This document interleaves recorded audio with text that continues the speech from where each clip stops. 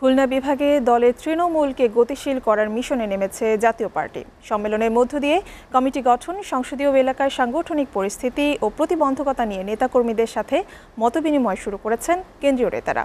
আগামী জাতীয় নির্বাচনকে সামনে রেখে সাংগঠনিক তৎপরতা শুরু করেছেন বলে জানান তারা।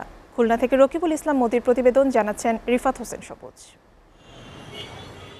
জাতীয় পার্টির সাংগঠনিক মূল্যায়নে বরাবরই পিছিয়ে খুলনা বিভাগ। এখানে জাপার একজন সংসদ সদস্যও নেই। দলীয় কর্মকাণ্ড অনেকটা নিষ্ক্রিয় হয়ে পড়েছে। সম্মেলনের মধ্য দিয়ে কমিটি গঠন, সংসদীয় এলাকার সাংগঠনিক পরিস্থিতি নিয়ে মত বিনিময় শুরু করেছেন কেন্দ্রীয় নেতারা।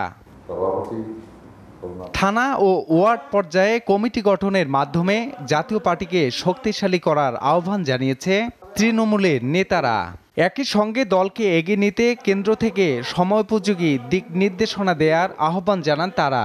সরকারি দল এবং বিরোধী দলের যে একটা সমন্বয় এটা থাকলে পরে দেশের যে অগ্রগতি সেইটা আমরা কিন্তু তৃণমূল পর্যায়ে দেখতে পাই না। মর্যাদা থেকে একবারে পরিপূর্ণভাবে বেরোয় এসে একেবারে একনিষ্ঠভাবে একটা প্রধান জনগণের কথা বলতে পারে এরকম একটা বিরোধী দল হয় তাহলে হয়তো আমরা তৃণমূল থেকে সংগঠনকে আরও বেশি করে শক্তিশালী করতে পারব। থানা লেভেলের কমিটি ওয়ার্ড কমিটি তাহলে জাতীয় পার্টিকে আপনি আগায় নিয়ে যেতে পারবেন। জাতীয় সংসদে যিনারা সংসদ সদস্য ওনাদেরকে বিভাগে ভাগ করে দেওয়া দরকার এই কথা কিন্তু আমরা বলেছিলাম।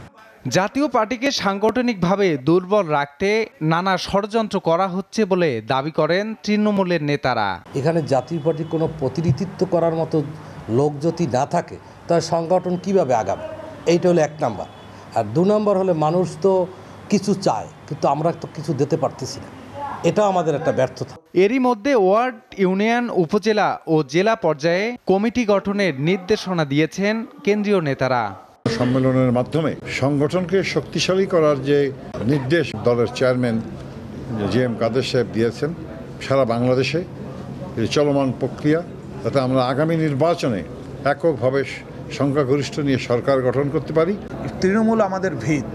এই ভিতকে শক্তিশালী না করে তো আমরা বড় ইমারত আমরা করতে পারব না। সাংগঠনিক কর্মকাণ্ড ও দলের রাজনৈতিক চিন্তাধারা জনগণের কাছে তুলে ধরতে পারলে জাতীয় পার্টি আরও শক্তিশালী হবে বলে আশা করে তৃণমূলের নেতাকর্মীরা। ACTV news desk.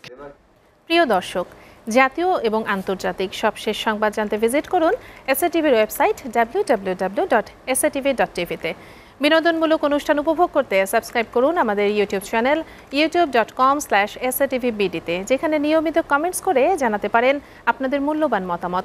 এছাড়াও এসএটিভির বাছাইকৃত সংবাদ দেখতে ইউটিউব ডট কম স্ল্যাশ নিউজে সাবস্ক্রাইব করে বেল আইকনটিতে ক্লিক করে সাথেই থাকুন।